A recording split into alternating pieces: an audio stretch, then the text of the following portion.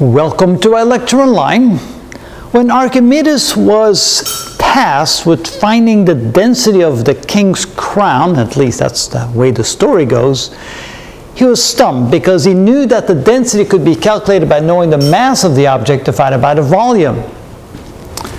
The mass is easy to figure out, but how do you find the volume of a crown without melting it down? Obviously, that would kind of defeat the purpose.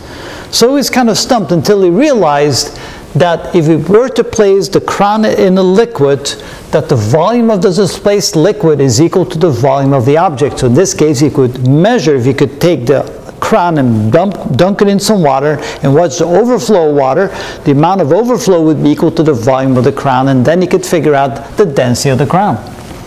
So how do we do that? Well, first of all, we measure the mass of the object in air. Then we dunk it into a liquid like water and measure the apparent mass now when it's in the liquid. And of course, it's going to be less because there's some sort of buoyancy force. The buoyancy force is equal to the weight in the air minus the weight in the liquid. So I have to multiply the mass times g. And there we get the difference, 4.9 newtons in this particular case. Then we use the principle that the buoyancy force is equal to the weight of the displaced liquid, which is the mass times acceleration due to gravity. And using this relationship between density, mass, and volume, we can replace mass by density times volume. Then we realize that the volume of the displaced liquid must equal the volume of the object.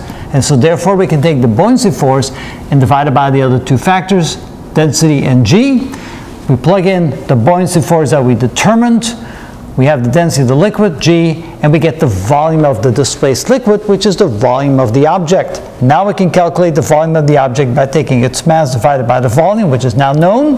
This, of course, is cubic meters. There we go. And now, and there we get the result.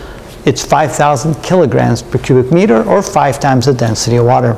And that is how it's done. How much is the crown worth?